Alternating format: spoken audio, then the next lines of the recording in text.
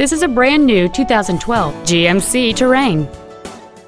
It features a four-cylinder engine and a six-speed automatic transmission.